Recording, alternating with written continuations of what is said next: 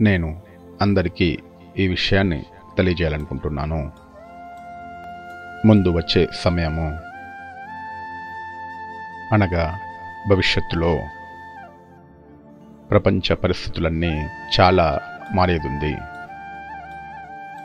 అందుకై మనము మన స్థితిని తయారు చేసుకోవాలి.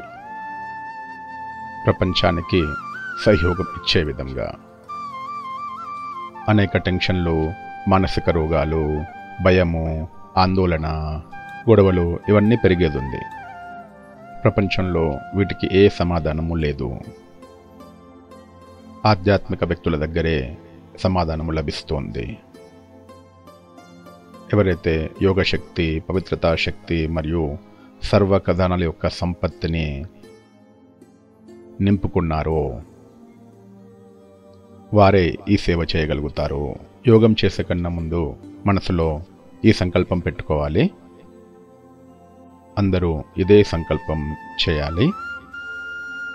మునుముందు ప్రపంచానికి నేను ఉపయోగపడాలి అనే సంకల్పం పెట్టుకోండి. మీకోసం చాలా చేశారు. మీ వాళ్ళ కోసము చాలా చేశారు.